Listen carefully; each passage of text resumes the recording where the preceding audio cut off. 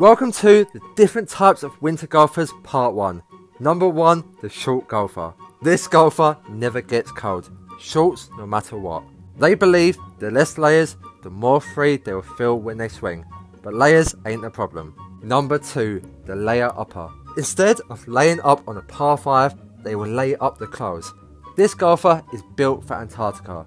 They will put on so many clothes, they will barely be able to swing that golf club.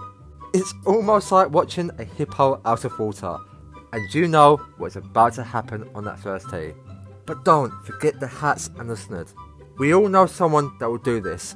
When they hit a bad shot, trust me, they are blaming the layers and will slowly take off each top every hole until the very end. And finally, we have the clean golfer. This golfer hates mud but loves golf, and it's like they're practicing for Strictly Come Dancing. Who wants part 2?